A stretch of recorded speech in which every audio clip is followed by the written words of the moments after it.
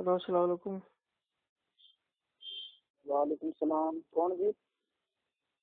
अरे आप कौन बोल रहे हैं भाई? मैं तो मोहम्मद सद्दाम हुसैन बोल रहा हूँ जी। जी सद्दाम भाई बताइए। और जी आप कैसे हो? खैरियत से हो? हाँ भाई अलहमदुल्ला जी मैं थोड़ा मसले के बारे में पूछना है। आप मौलवी हैं या हाफिज हैं? दोनों नहीं है। अच्छा अभी आप सो रहे हो क्या? नहीं भाई तबीयत नहीं ठीक है। अच्छा। हम्म, क्योंकि मैं मसले के बारे में ये पूछना है कि मैं आपके ग्रुप के अंदर जुड़ा हुआ हूँ। हम्म, ठीक है जी? उसमें हाँ, आप कुछ। लोगों को जवाब दे रहे हो। कुछ आप लोगों को जवाब दे रहे हो। कुछ ऐसे है कि मैं जो बंदी हूँ भाई। तो मैं देवबंदी फिरके से ताल्लुक रखता हूँ। मैं पहले भी मोहल्ला से बात करने की कोशिश की है लेकिन वो किसी मोहल्ला से बात नहीं है। हम अहले हदीस उलमा है। हम्म, तो मुझे आपका किसी ने नंबर दिया है जी? हम्म, तो मैं भी ऐसे है ना मैं अहले हदीस होना चाहता हूँ। पहली बात तो ये। हम्म, दूसरी बात ये है कि मुझे कुछ थोड़ा थोड़ा मसले के बारे में बताएँगे तो अच्छा होगा थोड़ा मसले पूछना है। जी भाई मसले देखिए मसले बताना आलिम दीन का काम है मुफ्तियान का काम है। अब हम लोग तो भाई आपसे उम्र में छोटे हम लोग को कुछ नहीं आता जाता। हम लोग तो जो सीखते हैं वो बात लोगों को भाई उनको बता देते हैं। आप बस समझ रहे हैं? आप अपना मसला बताइए। आप अपना मसला बताइए अगर हमको मालूम होगा तो इंशाल्लाह पक्का बताएँगे छुपाएँगे नहीं। और नहीं मालूम होगा तो इंशाल्लाह फिर देखो जी बात बता देंगे। देखो जी आप ऐसी बात है ना हमने आपकी रिकॉर्डिंग वगैरह वगैरह सुनी आप देखे सुनने में देखने में बोलने में आप ऐसे लग रहे हो जैसे कुछ का कुछ तो आपको पता ही होगा ऐसी बात नहीं है जी। हाँ वही मैं पूछ रहा हूँ मेरे मेरे कुछ ज़्यादा नहीं है जी क्योंकि क्योंकि मैं दो, दो बंदी में फिरके में हूँ तो इसलिए मैंने ना जी तो कोई ऐसी मतलब पूछना तो नहीं चाहता था लेकिन मैं अब हदीस फिरके में होना चाह रहा हूँ इसलिए मैं जी पूछना चाहता हूँ। नहीं अहले हदीस में आना चाह चाहता भाई पहली चीज़ तो आपको चीज़ बता दे। अहले हदीस में आना जाना ये सब कुछ नहीं है। अगर आप भाई कुरान और सही हदीस को अमल साहबा के हिसाब से फॉलो करने की कोशिश करेंगे ऑटोमेटिक आप अहले हदीस हो जाएँगे। उसके लिए आपको कोई मतलब वो कलमा नहीं पढ़ना है दोबारा। आप बस समझ रहे दोबारा ईमान नहीं कबूल अच्छा। करना है। अहले हदीस क्या है? अहले हदीस तो क्वालिटी है ना ये कोई फिरका नहीं है। आप समझ रहे हैं?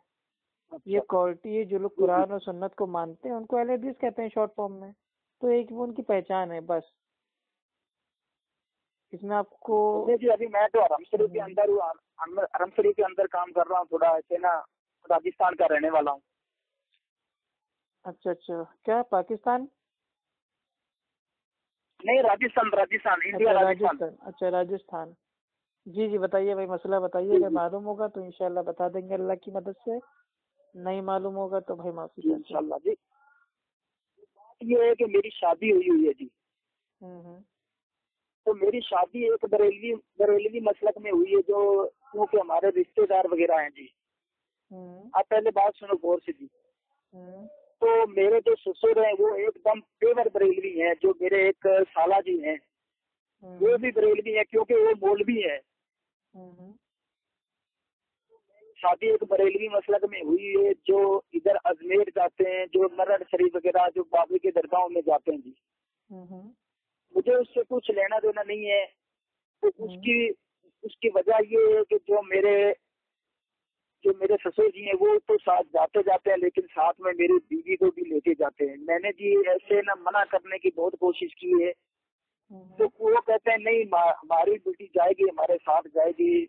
जो मेरा ससुर है ये भी ये कहता है जो मेरा मेरा जो साला जी है वो भी ये बात कहता है। हमने कहा कोई बात नहीं क्योंकि मैं फिर एक दो बार मैं भी उनके साथ गया हूँ। जाने से तो मैंने मना नहीं किया जी। मैंने कहा कोई बात नहीं जाना कोई बात नहीं कोई कुछ कोई ऐसी बात नहीं है। तो वहाँ पे जाकर जी जो जो बाबे की जो कमर होती है ना जी उस पर जाकर जी पाँच पाँच मिनट दस दस मिनट उसके आगे सजदा कर सजदा करने ऐसे सजदा कर रहे हैं जैसे नमाज़ पढ़ते हैं ना ऐसे उसके सामने सजदा करते हैं जी। तो हम्म, मैंने उन, उन मेरी बीवी को कहा है कि भाई देखो ये हमारे लिए हराम है। ये तो सबके लिए भी हराम है जी। जो हम्म, किसी मतलब का हो उसी के लिए भी हराम है। जैसे मैंने हमारे मोहल्ला से देवबंदी मोलना है उनसे मैंने पूछा है तो उन्होंने कहा भाई ये हराम है। तो मैंने जी बहुत कोशिश की है। उसकी वजह से जी थोड़ी ना जैसे नमाज़ वगैरह पढ़ते हैं तो मैं उसको कहता हूँ भाई अगर तुमको नमाज़ नहीं आती तो मैं साथ में पढ़ाऊँगा नमाज़ आपको नमाज़ पढ़ाऊँगा। लेकिन ये काम मत करो। कि वो मानते नहीं है अब इसमें थोड़ा बताओ। जैसे हम अब मैं घर में उनके घर में जाता हूँ अब खाना वगैरह पड़ता है। जैसे कोई जैसे बिरयानी वगैरह या घर में पड़ता ही है जैसे खीर वगैरह बनती है जी। तो उसमें जी वो लगाते हैं फातिया वगैरह। जो हमारे जो ससुर है उसके घर में एक कमरा बना हुआ छोटा सा। उसमें जो हिंदू लोग दिवाली में वो दीवी नहीं बनाते? दीवी रखते हैं जो तेल डाल के। हाँ हाँ दिया दिया। जी वो दिया जी वो रखा हुआ है घर में एक गल्ला भी रखा हुआ पैसों वाला तो वो जो भी जैसे जो भी काम करते हैं उसमें पैसे डालते हैं कहते हैं ये बाबे के नाम के।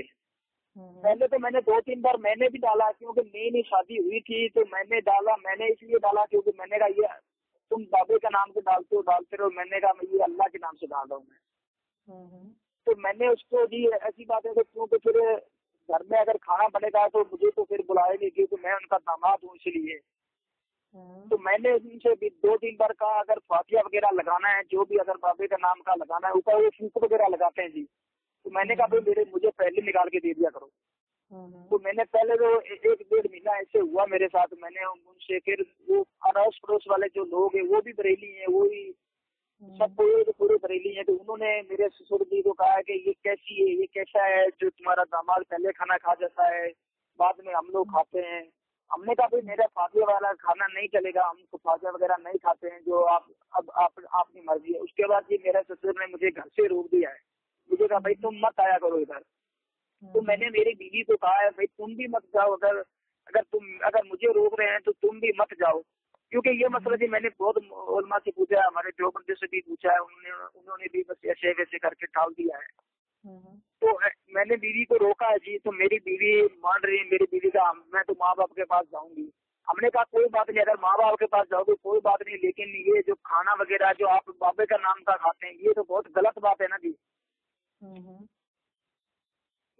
मौलाना जगदीश अंसारी साहब की तकरीरों में सुना है क्योंकि मैं उनकी तकरीरें ज़्यादा सुनता हूँ जी। इसीलिए अगर आपको मसला वगैरह पता है तो मुझे बता दीजिए। नहीं पता तो जी कोई बात नहीं। नहीं तो उसमें दिक्कत क्या है? दिक्कत तो ये है कि अगर अगर वो दरगाह पे जाती है जैसे वो कबर वगैरह में जाती है तो उसमें सजदा करना ये जायज़ नहीं है ये तो चलिए भाई हमने आपकी पूरी बात सुनी ठीक है। अब देखिए आपका जो मसला है वो बिल्कुल टेढ़ा मसला है ठीक है। इसमें जो चार पॉइंट है वो चार पॉइंट है मेन आपके ठीक। पहली चीज़ तो आपने शादी से पहले भाई अपनी बीवी में मतलब भाई उसका ईमान उसकी दीनदारी आपने देखी नहीं। ठीक? अब आप भाई पछता रहे हैं। अब आप पछता रहे हैं। ठीक? दूसरी चीज़ ये कि पछताना पछताना उस उस वक्त पछताना नहीं हुआ मुझे क्योंकि मैंने मैंने कहा यार सब कुछ सही हो जाएगा इंशाल्लाह। क्योंकि मैं जो भी फिरके से मैं ताल्लुक रखता था जी। उन्होंने कहा उधर जाना कुछ मुश्किल नहीं है कुछ कोई कोई ऐसी दिक्कत वाली बात नहीं है। जब मैंने खुद अपनी आँखों से देखा फिर तो जी मेरे ऐसा ना गलत हो गया फिर तो हम खुदा को खुदा के सामने शरीक होने की बात कर रहे हैं ना। नहीं नहीं बरेलियों से शादी कर सकते हैं देवबंदियों से शादी कर सकते हैं ऐसा कोई मसला नहीं है। सब लोग मुसलमान हैं। आप समझ रहे हैं? लेकिन बात ये है कि आपकी बीवी आपके इख्तियार में नहीं है ठीक है? भाई हदीस में आता है कि शौहर की इतात करना चाहिए। आप समझ रहे हैं? अल्लाह और अल्लाह के नबी के बाद अगर उसकी शादी हो गई तो शौहर की इतात उसको करना है। अगर आप उससे कह रहे हैं कि अपने मायके मत जाओ तो उसको नहीं जाना चाहिए। हाँ अब हालाँकि औरत है अब वो कह रही नहीं मेरे माँ बाप है हम जाएँगे मिलने। तो उनको आप समझाइए कि माँ बाप हैं लेकिन वो अल्लाह से बढ़ के नहीं है अल्लाह के दीन से बढ़ के नहीं है। जब आखरत होगी कयामत आएगी तो यही माँ बाप तुम्हारे तुमको एक भी नेकी नहीं देंगे। आप समझ रहे हैं? भाई वो हशर के मैदान में नफसी नफसी का आलम होगा। कोई किसी को अपनी एक भी नेकी नहीं देगा। भाई बाप अपने बच्चों को नहीं पहचानेगा। और माँ अपने बच्चों से कहेगी, नहीं, जाओ, मैं तुम्हें एक भी नेकी नहीं दूँगी। ये सब दुनिया में है, माँ बाप हाँ मेरी वो लाल, मेरी पीली, मेरा वो जिगर का टुकड़ा, ये सब खाली दुनिया आखिरत में अल्लाह के सामने नफसी नफसी का बस मतलब वो हर आदमी सोचेगा कि हम कामयाब हो जाए, हमारी पकड़ ना हो जाए। अल्लाह हमको बचा ले अल्लाह हमें माफ़ कर दे, किसी भी तरीके से हमको बस बेड़ा पार कर दे। तो यहाँ पे ये अब असल में ये अब आपने स्टार्टिंग में उनको दे दी छूट अब स्टार्टिंग में आप उनके साथ गए दरगाह ठीक? अब दरगाह गए तो आपने देखा कि भाई वो सजदा कर रहे हैं पाँच पाँच मैं तो नहीं जाना चाहता लेकिन मेरा ससुर है ना वो लेके गया मुझे जान के लेके गया मुझे कहा तुम तुमको चलना पड़ेगा। हाँ हाँ मैं समझ सकता हूँ शादी टाल सकते। भाई क्यों नहीं डाल सकते मेरे? भाई अभी आपका ससुर कहेगा ओ एक एक जाम मार दिया जाए आप बस समझ हो? तो समझ आ गई पहले तो पता नहीं था ना। हाँ पहले नहीं पता था तो अल्लाह से माफ़ी मांग। पहली चीज़ तो ऐसी जगह हमें जाना ही नहीं चाहिए जहाँ पे अल्लाह के दीन के साथ खेल हो रहा हो। अल्लाह के नबी कहते हैं कि अगर मेरी उम्मत में अगर अल्लाह के अलावा किसी और का सजदा अगर वो जायज़ होता तो बीवियों को हुक्म होता कि वो अपने शोहर का सजदा करें। लेकिन सजदा किसी का जायज़ नहीं सजदा सिर्फ़ अल्लाह का है। अब वो चाहे ताजीम का सजदा हो चाहे इबादत का सजदा हो चाहे वो मतलब भाई कोई भी सजदा हो। आप समझ रहे सजदा सिर्फ़ अल्लाह के लिए और वहाँ मजारों पे जो मुर्दा बेचारा मरा हुआ है अब वो नेक था बद था अल्लाह बेहतर जानता है। उस पहली चीज़ तो उसके ऊपर सजदा करके फ़ायदा क्या? और ये जो बरेलवी मसलक है बरेलवी मसलक में तो खुद उतरा हुआ है कि कब्रों पे चादर चढ़ाना। ठीक है? मतलब वो जब तक एक चादर पूरी फट ना जाए गल ना जाए मिट्टी में मिल ना जाए तब तक उसके ऊपर दूसरी चादरें ना डालो। कबर के ऊपर एग्जैक्ट अगरबत्ती ना जलाओ। कबर के ऊपर सजदा ना करो। औरतों का कब्रों पे, मजारों पे जाना भाई ये हराम है, मना है। तो उनसे कहिए कि अगर आप बरेलवी हैं, वाकई आशिक नबी हैं, ठीक है, नबी के आशिक हैं तो आशिक रसूल का कम से कम फ़र्ज़ तो अदा कीजिए। अल्लाह के रसूल कह रहे हैं, अल्लाह के अलावा किसी का सजदा नहीं है। वो पीर बाबा है, ठीक है, उनके लिए दुआ करो। अल्लाह से उनके लिए, भाई, वो नफरत की दुआ करो, नेमत की दुआ करो, लेकिन उनको सजदा मत करो। आप बस समझ रहे और बीवी, भाई, बीवी के ताल्लुक से आता है कि अल्लाह के नबी की जो बी मतलब वो बेटी थी, ठीक है, फातिमा रज़ी अल्लाह अन्हा, वो अली रज़ी अल्लाह अनु से बिना पूछे अपने वालिद के वहाँ आ जाती है अल्लाह के नबी के पास। ठीक? अल्लाह के नबी जैसे देखते हैं वो पूछते हैं अली कहाँ है? तो वो कहती है कि नहीं मैं अकेले आई हूँ। तो अल्लाह के नबी कहते हैं कि वापस जाओ पहले अपने शोहर से पूछ के आओ। अगर वो तुमको कह रहा है आने के लिए तो आओ वरना वापस जाओ। तो ये हमारे अल्लाह के नबी हैं। अल्लाह के नबी कह रहे हैं शोहर की इताअत करो। शोहर अगर नहीं चाहता है यहाँ मत जाओ दरगाह मत जाओ फातिया का खाना मत खाओ तो मत खाओ। और कुरान की आयत है ठीक है सूर्य मायदा में है गालबन कि अल्लाह सुबहान तला ने अल्लाह के अलावा किसी और का नाम लिया गया अगर खाना हो अब उसमें बहुत सारी चीज़ें हैं मतलब वो मुर्दार गोश हो खून हो ठीक? और अल्लाह के अलावा अगर जिस खाने पे किसी और का नाम लिया गया हो तो वो खाना हमारे लिए हराम है। अब फातिया किसके नाम की हो रही है? फातिया कभी मतलब वो पिराने पीर के नाम हो रही है कभी जाफरी सादिक के नाम की हो रही है कभी मतलब भाई वो ग्यारहवीं की फातिमा हो रही है कभी तेरहवीं की फातिया हो रही है। और फातिया पहली चीज़ तो करें क्यों? अल्लाह के नबी भाई भाई हमारा तो सीधा दावा है आशिक रसूल हो ना आप तो अल्लाह के नबी कैसे खाना खाते थे? अल्लाह के नबी खाना खाने से पहले पढ़ते थे बिस्मिल्ला आप समझ लो तो हम बिस्मिल्लाह बोल के हम सुकून से खाना खा लेंगे।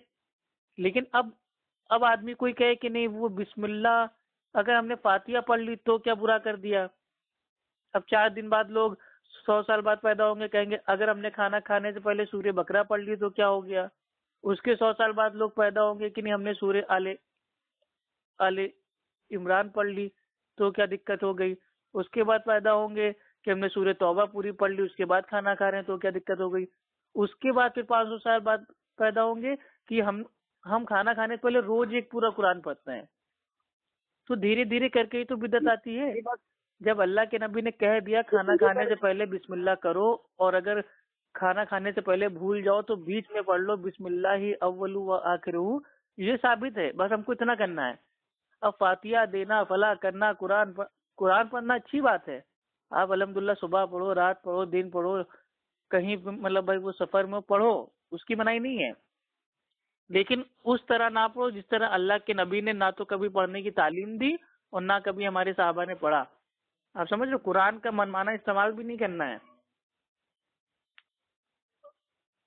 हेलो? जी। बस यही तो रोला कि जो ये ये लोग कहते हैं ना आला हज़रत ये आला हज़रत का पता नहीं क्या क्या रोला है क्या चीज़ है मुझे तो कुछ समझ में नहीं आया नहीं आला तो आला हज़रत का नाम का कहते हैं ये आला हज़रत पता नहीं ये क्या चीज़ है मुझे अरे तो उनसे आप। पूछिए ना कि मेरे भाई आपके लिए अफजल कौन है आप आशिक किसके हैं आप आशिक आशिक अल्लाह के नबी के हैं या मसल के आला हज़रत के हैं या इमाम अबू हनीफा के हैं? किसके आशिक हैं आप? आपका दावा मतलब वो नाम तो आप ले रहे हैं अल्लाह के नबी का और काम कर रहे हैं आला हज़रत का। तो ये दोगलापन क्यों? अहले हदीस अलहमदुल्ला इस तो पूरी दुनिया में इकलौता ऐसी जमात है जो अल्लाह के नबी का नाम लेती है और अल्लाह के नबी की ही बात को लेती है। उसके अलावा किसी की नहीं। हाँ उससे मिलती जुलती जो बात अगर कोई आलिम कह रहा है तो अलहमदुल्ला मान लेंगे। अल्लाह के नबी से अगर कोई हट के बात कर रहा है अपनी अकल दीन में खोस रहा है तो भाई तुम अपने दीन पर हम अपने दीन पर है। अब सवाल ये पैदा होता है कि आपकी बीवी पहली तो- चीज़ तो आपके कहे में नहीं है ठीक है? आप अपनी बीवी को भाई कंट्रोल कीजिए ठीक है? साफ़ साफ़ बताइए देखिए उससे आप कहिए कि मतलब कुछ भी उसको प्यार से समझाइए कि हाँ बेबी जानू और तुम क्या करती हो बताओ यहाँ पे जाती हो सजदा करती हो ये नहीं सही है। भाई हम चाहते हैं कि हम जन्नत में जाएँ तो तुम भी मेरे साथ जन्नत में आओ। और बड़ा खतरनाक अजाब है। अल्लाह ताला चाहे तो सब कुछ माफ़ कर सकता है, लेकिन शिरक नहीं माफ़ करेगा। और तुम खुलेआम अल्लाह के अलावा बाबा के सामने सजदा कर रही हो। तुम्हारा क्या होगा? मैं तुम्हें दिलो जान से चाहता हूँ, मैं चाहता हूँ तुम दुनिया में भी, जन्नत में भी मेरे साथ रहो। तो उसको प्यार से समझाइए। प्यार से ना माने तो हल्की मार से समझाइए। लेकिन हल्की मार कैसे होगी कि उसके चेहरे पे ना मारिए? आप समझ रहे? देखिए मार का भी तरीका हमारे अल्लाह के नबी ने बता दिया है कि इतनी हल्की मार मारो कि उसको अपनी गलती का एहसास हो जाए लेकिन चेहरे पे मत मारो। ठीक? उसको मतलब भाई वो उल्टी सीधी बात ना बोलो ताना मत दो गाली क्लोज मत करो। अगर वो उसके बाद भी नहीं मान रही है तो फिर अपना बिस्तर अलग कर लो। ठीक? उससे नाराज़ हो जाओ। कह दो कि नहीं भैया अब तुमको जब अल्लाह की ही परवाह नहीं है अल्लाह के दिन के तुमने मज़ाक बना रखा है कुरान के आयतों को खेल बना दिया है तो अब हम तुम्हारे साथ हम कैसे लेटे? हैं हम अपना अकेले सोएँगे। आप अपना बिस्तर अलग कर लो। अगर उसके बाद भी नहीं मानती है तो उसके हाथ का खाना मत खाओ। आप अपना होटल से ले आओ। क्योंकि बीवी सब कुछ बर्दाश्त कर सकती है, लेकिन वो ये नहीं बर्दाश्त करेगी कि मेरे, जो मेरा शौहर है, वो मेरे साथ ना सो रहा है, ना मेरे हाथ का खा रहा है। अपनी बातचीत पूरी बंद कर दो। उसके बावजूद अगर नहीं मान रही है, ठीक है? उसके बावजूद नहीं मान रही है आपके लाख कोशिशों करने के बाद, अगर वो नहीं मान रही है तो ये तो शरई बुनियाद है। अगर आप चाहे तो अपनी बीवी को छोड़ भी सकते हैं। आप समझ मतलब मैं आपको राय नहीं दे रहा हूँ कि आप अपनी बीवी को छोड़ दो। अल्लाह न करे कभी ऐसा हो लेकिन ये शरई बुनियाद है। अगर आप चाहें आप समझ रहे हैं? अगर आप चाहें तो उसको आप छोड़ भी सकते हैं। क्यों? क्योंकि वो अल्लाह के दीन के साथ मज़ाक कर रही है और अल्लाह ताला आपको भी पकड़ेगा कि वो तुम्हारी बीवी थी तुम्हारे मातिया थी तुमने उसको क्यों नहीं समझाया? आप क्या कहोगे? कि नहीं अरे वो बीवी थी वो माँ बाप के पास जाती थी तो अल्लाह हम कैसे रोक लेते? तो ये सब देखिए आखिरत वाले दिन कोई कोई कुछ नहीं जवाब दे पाएगा। अभी दुनिया में ज़िंदा है पता नहीं कितना ज़िंदा है आ, आज मौत आ जाए कल मौत आ जाए क्या हो जाए उससे मतलब नहीं उसको बहुत प्यार से इतमान से समझाइए कि देखो तुम अपने माँ बाप के पास जाओ उनको भी लेके आओ आराम से साथ में खाओ उठो बैठो। और सबसे बेहतरीन जो कुरान की आयत है भाई वो सूर्य, आले इमरान, सूरा नंबर तीन, आयत नंबर चौसठ है कि आओ उस बात की तरफ़ जो तुम में और हम में एक सी है। तो बरेलवियों के यहाँ भी क्या है? भाई वो भी कुरान को मानते हैं, वो भी अल्लाह के नबी को मानते हैं। अहले हदीस में क्या है? अहले हदीस भी कुरान को मानते हैं, अल्लाह के नबी की बात को मानते हैं। तो ये उनको जो सेम बात है उस पर लेके आओ। कह दो भाई, जो आपके आला हज़रत का तर्जुमा है, आप उसको पढ़ो। उसमें भी लिखा हुआ है ईया का नाब्दु ईया का नस्ताइन हम सिर्फ़ तेरी ही इबादत करते हैं और तुझसे ही मदद मांगते हैं। ये भाई ये हम तो नहीं कह रहे हैं। ये तो आपके आला हज़रत कह रहे हैं ना कि हम तेरी ही इबादत करते हैं तुझसे ही मदद मांगते हैं। तो बाबा के पास का है कुछ सर माथा टेकने का? आप समझ रहे हैं? दावत बहुत प्यार से दीजिए इतमान से दीजिए। ठीक है और जो लोग अब देखिए अब असल में ये है जो उनका माहौल होगा आपकी मतलब जो भाई वो ससुराल है वहाँ पे पूरा माहौल हमको लग रहा है इसी टाइप का होगा बरेलवी टाइप का ठीक है? अच्छा बरेलवी लोग क्या है? बरेलवियों में एक अच्छा है। हम्म। मेरा गाँव में ना जी बस या तो जो बंदी है तो या फिर बरेलवी है क्योंकि पूरे बरेलवी है जितने उसके खानदान पूरा बरेलवी है जी। अब उनको क्या समझाया जाए? कितना समझा ले फिर भी वो वो उनको समझ में आ जाएगा फिर भी वो उसी मसलक पे रहेंगे। अब कितनी जिरा करें उनसे जी? नहीं नहीं तो मेरे भाई अल्लाह ताला ने आपको हमको दरोगा नहीं बना के भेजा है। मत छोड़ दीजिए उनको अल्लाह के ऊपर। आप देखिए, आप अगर अपनी बीवी जो आपके माथियत है, आप अगर उसको कंट्रोल मतलब भाई वो कर पा रहे हैं तो ठीक है, नहीं कर पा रहे तो फिर भाई अब आगे आपकी मर्ज़ी, आप खुद समझदार हो कि ऐसी बीवी जो आपको भी जहन्नुम में भाई वो घसीट के ले जाए अपने साथ। ये जो भाई, जो ये औरतें हैं, यही अल्लाह के सामने कहेंगे कि अल्लाह, मेरा शोहर तो सब कुछ जानता था, लेकिन उसने आज तक ना हमको कुरान से भाई खेल करने पे ना मारा ना उसने डांटा, ना उसने हमसे नाराज़ हुआ, ना उसने हमारे हाथ का खाना छोड़ा, ना उसने हमसे बिस्तर अलग किया, उसने मेरे साथ कुछ नहीं किया। आप सब कुछ कर लीजिए, उसके बावजूद अगर वो नहीं मानती तो उसका हाल है। तो अल्लाह ताला उसका हिसाब लेगा, आप उससे बरी हो। ठीक है? अली रज़ी अल्लाह अनु फरमाते हैं कि अल्लाह ताला जिसको इस दुनिया में ही जन्नत देने का इरादा कर लेता है। आप समझ रहे हैं? अल्लाह ताला जिसको जन्नत देने का इरादा कर लेता है उसको इस दुनिया में ही एक नेक बीवी दे देता है। तो आपकी बीवी तो नेक हुई नहीं। आप समझ रहे हैं? आपकी बीवी तो नेक हुई नहीं। हालाँकि मैं आपकी बीवी को कुछ नहीं कह रहा हूँ। अल्लाह उनको हिदायत दे उनको कामयाब करे उनको शेख बिदत गुमराही से बचाए। आमीन आमीन आमीन। लेकिन प्रेजेंट टाइम पे तो वो मतलब इतने उसमें फंसी हुई है कि उसको निकालना बहुत ज़रूरी है और ये आपकी ज़िम्मेदारी है। अब आप उसको कैसे निकालते हैं? अब उनके दिमाग का भाई मैार क्या है? अब भाई वो आपको मालूम होगा कि हाँ उनको मतलब भाई कुरान मतलब भाई वो कुरान से समझाएँगे तो मानेंगी, या हदीस से समझाएँगी तो मानेंगी, या उनके मसलक से बताएँगी तो मानेंगी, या आप उनको आराम से, प्यार से पट्टी पढ़ाएँगे तो मानेंगी, या उनको शॉपिंग करवाएँगे कि आओ और भी तुम्हें आज भाई वो नया सूट दिलवा दे, लेकिन वादा करो कि अल्लाह के अलावा किसी और को सजदा नहीं करोगी। तुम जो कहोगे, तुम जितने महँगे कपड़े कहोगी, एक हज़ार, दो हज़ार, पाँच हज़ार, हम हम चौबीस घंटा मेहनत करके करके तुम्हारे लिए कमाएँगे। तुम जो कहोगी ला के देंगे, तुम्हारा पूरा खर्चा पानी पूरा करेंगे। लेकिन अल्लाह के अलावा किसी और को सजदा मत करो। अगर इस टाइप से मान जाती है तो भी ठीक है। अब वो आपके ऊपर है कि आपकी बीवी का माइंड क्या है? मतलब क्या सोचती है? असल में जो माँ बाप होते हैं ना, माँ बाप क्या कहते हैं? आजकल की जो तालीम ये हो रही है माशरे में।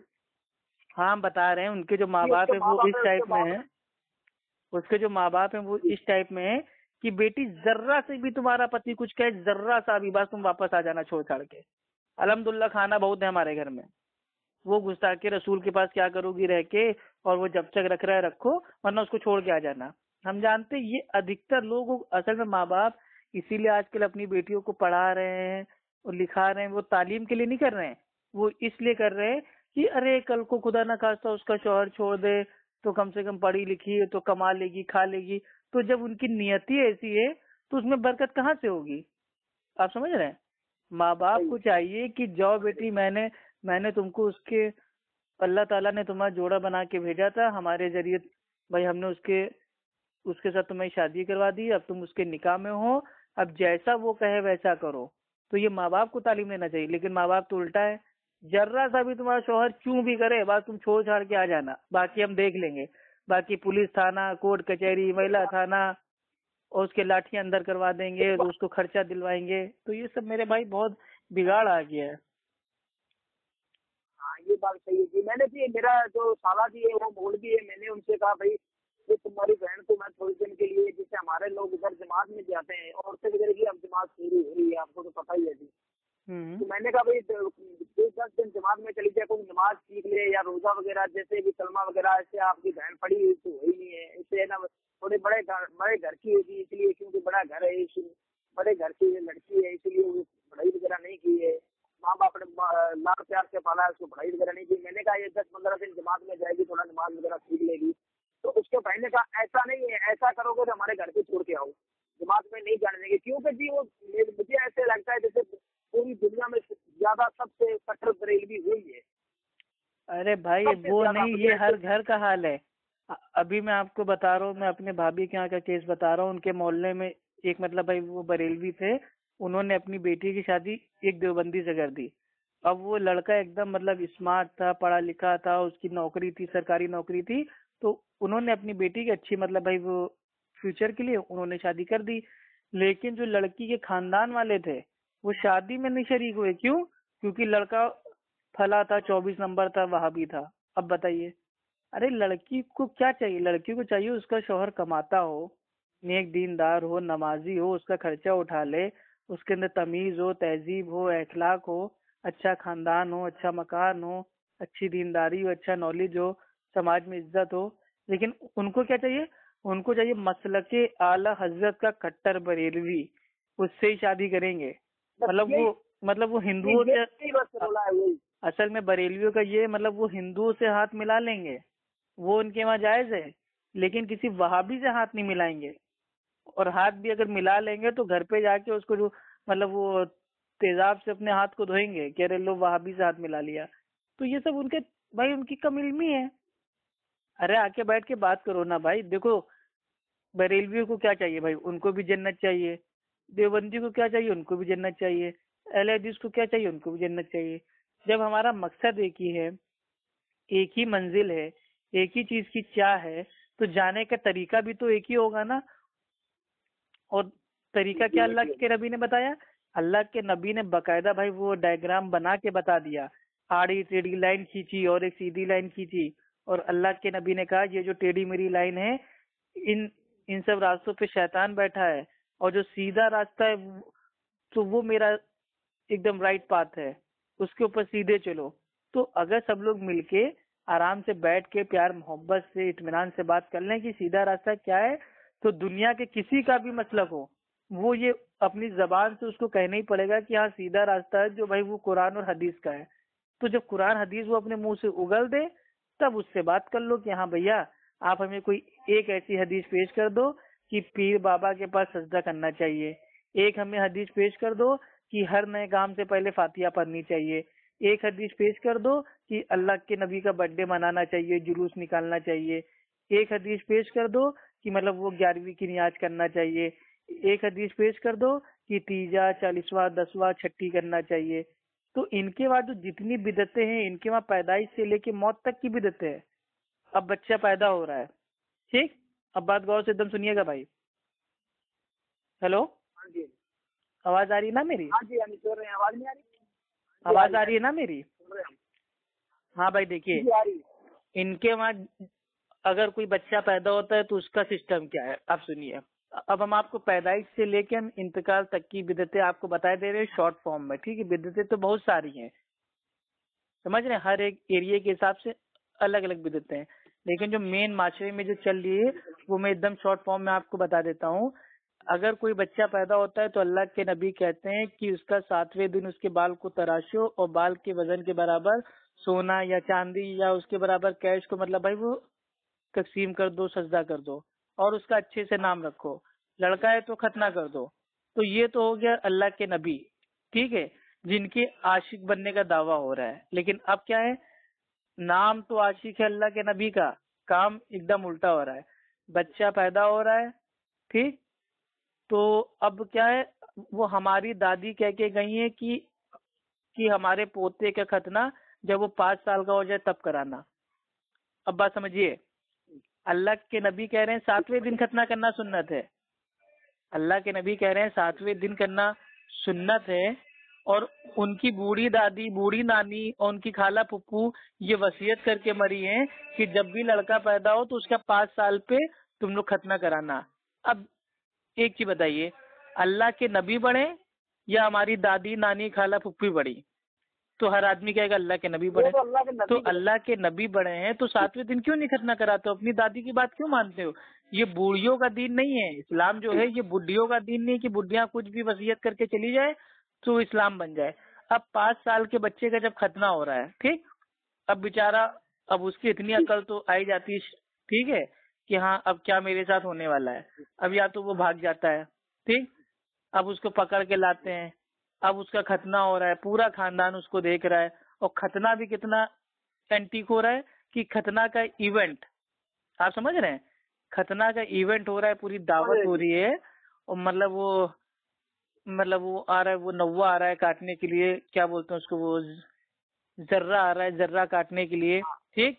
अब जर्रा काटने के लिए आ रहा है, अब उसको खतना करना है, लेकिन उसको सामान क्या चाहिए? उसको मतलब वो कपड़ा चाहिए, लाल रंग का पाव शेर बादाम हाँ हाँ। पाव शेर काजू पाव शेर मिश्री पाव शेर डली। अबे तुमको इससे क्या मतलब? तुम खतना करने आए हो तुम उसका खतना करके जाओ तुम्हारा जो पैसे फ़ीस हो उसको लो लेकिन नहीं बिदत। अब उसका खतना हो रहा है अब बेचारा वो नंगा है पाँच साल की उम्र में और पूरा खानदान उसको देख रहा है। तो ये क्या है? ये हमारा दिन है। अल्लाह के नबी ने कह दिया सातवें दिन खतना करवा दो और सातवें दिन जो भाई वो बच्चे का खतना हो जाता है उसको पेन होता ही नहीं है। उसको पता ही नहीं चलता। और अगर आप फॉरेन में जाएँगे तो फॉरेन में तो ऐसे ऐसे डॉक्टर हैं जो बच्चे के पैदा होते ही खतना कर देते हैं। आप समझ रहे हैं? बच्चा पैदा हुआ, वो फटाक से डॉक्टरों ने बिना पूछे ही खतना कर दिया। अब ये बहुत से लोग कहते हैं, नहीं नहीं, खतना करने से वो ब्लड का मतलब वो लॉस हो जाता है, ये हो जाता है, बच्चे की सेहत पर असर पड़ेगा। कुछ नहीं। इसके साइंटिफिकली इतने बेनिफिट हैं, इतने बेनिफिट हैं जिसको मतलब भाई वो गिनाया नहीं जा सकता। लेकिन हम लोग किस लिए करते हैं? अल्लाह के नबी ने कहा है। ठीक? हमारे इस्लाम की सुन्नत है। अब ये तो बच्चे की पैदाइश की हो गई। अब आते हैं शादी के ऊपर। ठीक? हेलो? अब आते हैं शादी के ऊपर। हाँ, तो हाँ। आ रही आ रही है। अल्लाह के नबी कहते हैं कि अगर किसी को शादी करना हो ठीक है तो लड़का लड़की एक दूसरे को देख ले लेकिन कैसे देख ले? भाई वो एक आदमी साथ हो महरम उनके ठीक? एक दूसरे को देख ले पसंद कर लें ठीक? उसके बाद जिस भी बुनियाद पे उनको शादी करनी हो खानदान की बुनियाद पे मालदारी की बुनियाद पे दीनदारी की बुनियाद पे पढ़ाई पे एजुकेशन पे लेकिन अल्लाह के नबी ने कहा कि ए नौजवानों तुम्हारे तुम्हारे हाथ कामिलूत हो तुम दीनदारी देखो। तो दीनदारी आजकल कोई नहीं देख रहा है। आजकल लोग दीनदारी के नाम से देख रहे हैं मालदारी ठीक? तो दीनदारी तो एक मतलब वो बहाना है घर में घुसने का। आप सुनिए।